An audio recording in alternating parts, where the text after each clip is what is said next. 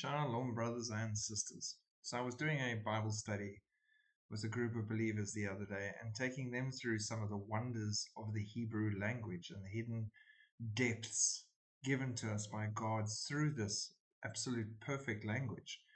And here we've got the first name of God given to us in the Bible Elohim. This is how we are presented with Him from the very first page of our Bibles. Now, Elohim broken up is Aleph, Lamed, Hey, Yod, and Mem.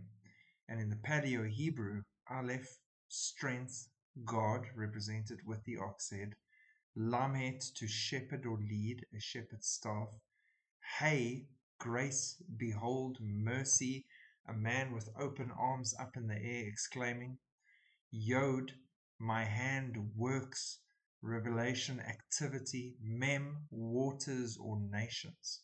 So, with that in mind, within the name Elohim is one of the most beautiful little surprises that there is that I think you also would enjoy.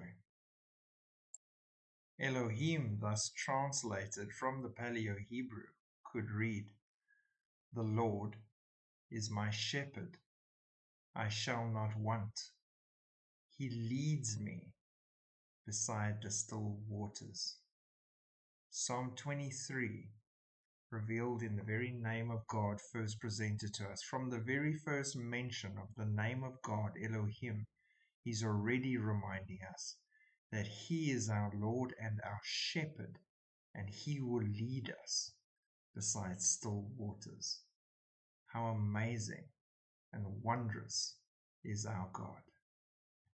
Shalom.